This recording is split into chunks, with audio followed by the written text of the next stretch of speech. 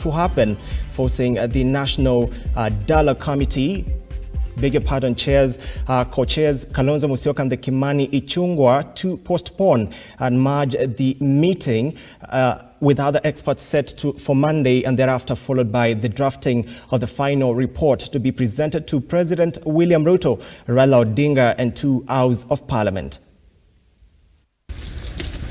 Big issue of the cost of living. So we resolved that um, because today we're supposed to get uh, Minister of Housing to make presentation. But they were not available, so we've agreed that they will join with the, the Treasury team and the Energy team on Monday. And we're also going to get other experts uh, so that we're not just going to be dealing with implementers of these taxation proposals. Uh, in order to get a balanced view to enable the work of this committee, we would want to hear uh, other experts as well.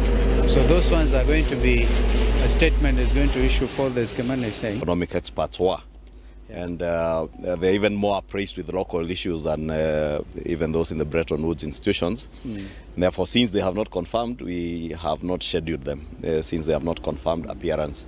Yeah. As His Excellency has said, uh, by Thursday, we shall now review and consider as a committee all the proposals that will come to us from uh, all the experts and uh, thereafter retreat to do the final report and as His Excellency has said on or before the 22nd we expect to give the final report to the principals and also table our report before Parliament, both houses.